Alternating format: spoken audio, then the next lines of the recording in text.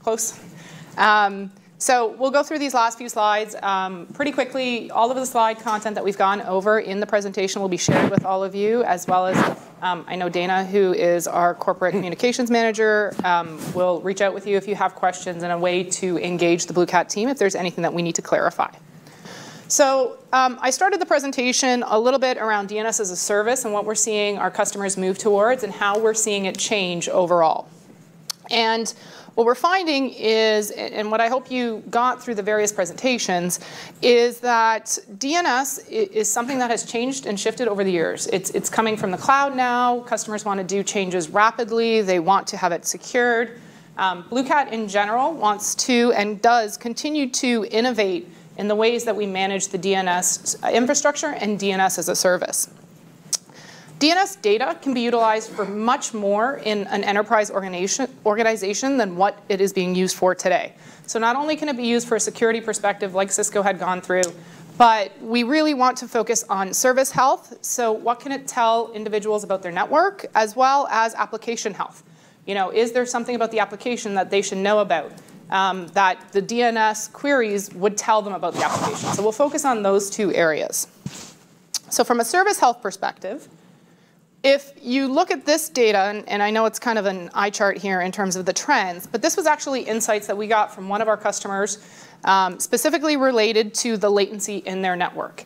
And so what we were able to map out was effectively how long was it taking for DNS queries to resolve? And what was the latency? Uh, the green and yellow lines are good.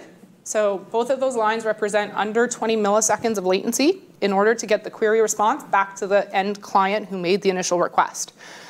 Blue and orange, um, not so good. Anywhere from 100 to greater than 100, sometimes thousands of milliseconds to get that response back to the client. And from a DNS perspective, what would happen is you're going to get a timeout long before you get the resolution for the query that you have. And so what we saw was, um, as you can see, before September 10th, um, you could see that there was a lot of that increased latency in their network. There was a lot of blue in their environment. What this allowed us to do from the perspective of a service with this customer was reconfigure their DNS infrastructure and their path, their network path for resolution to address this latency. And so we quickly identified the issue with the latency, made small minor configuration changes for them, and completely almost eliminated the latency here on the right that you see in the graphs. And so that, that change, by rerouting the way that they were doing it, it completely solved a problem that they didn't even recognize that they had in their environment. And so that's where we're seeing DNS being more than just query and response or query response and security. it's becoming more and more in that environment.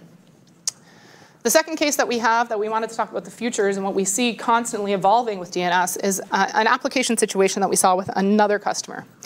And so this one specifically was related to an agent that the customer had installed on their devices in their environment and they installed it over 70,000 endpoints within their environment. This application naturally was very chatty.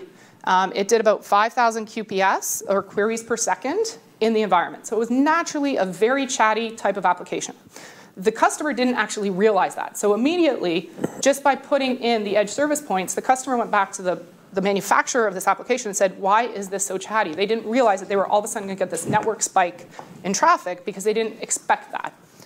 More importantly, what we were able to identify was on August 24th, you'll see that there was a very big spike in data. And so their queries per second went from 5,000 to 13,000 immediately. And what, was, what the edge service point was able to do and what BlueCat identified was something happened, that something triggered this anomaly in behavior. And when we dug it down with the customer, and we were able to identify it pretty quickly um, in less than a week, but what we identified was that they had applied a patch to this specific agent, and that patch all of a sudden had a bug in it, and that bug increased their traffic almost threefold. And you're talking about queries per second, so take that, expand it over the time. Their entire network was having massive issues related to this one patch. And so a lot of what DNS is, uh, is going to do for BlueCat, and what BlueCat's focusing on as a service and providing DNS as a service, is finding ways to use Edge to really uh, self-heal when these kind of anomalies show up in the data. Because after you trend data for a period of time with any of these customers, and the trend all of a sudden goes weird, you're able to start now analyzing what's happening. So in this case, we could actually see the specific queries that had gone up, and you can put in policies that I know both the Chris and Noel, the Cisco side, and on the BlueCat side, you can put in policies to help manage that. So you don't allow DNS now and this one misbehaving client patch, whatever situation, end up taking down your entire uh, infrastructure and organization.